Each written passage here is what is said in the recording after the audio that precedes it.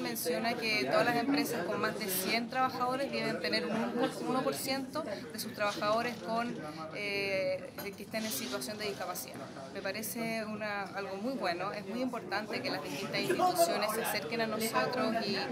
y este tipo de calificaciones porque, eh, como comenté antes, es importante poder aumentar eh, el acceso a las personas y mientras más instituciones formen a sus propios calificadores de discapacidad, eso es muy bueno. Así que es muy buena la iniciativa que tiene el IST de, de hacer esta capacitación.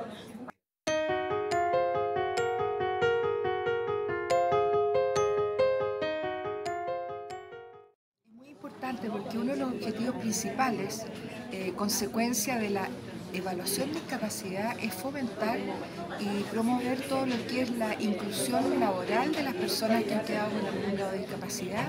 en sus antiguos empleos o en nuevos trabajos o, en, promoverlo a nivel social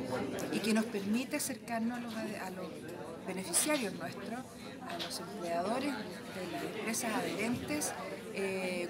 forma de trabajo que es adecuada, que es inclusiva y para poder invitarlos a participar en todo lo que es inclusión laboral, la real inclusión.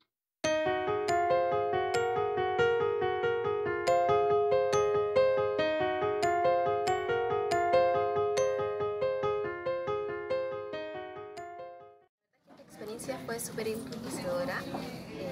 fue súper interesante conocer todos estos conceptos muy dinámicos y además nos fortaleció con todas las ideas que necesitamos nosotros para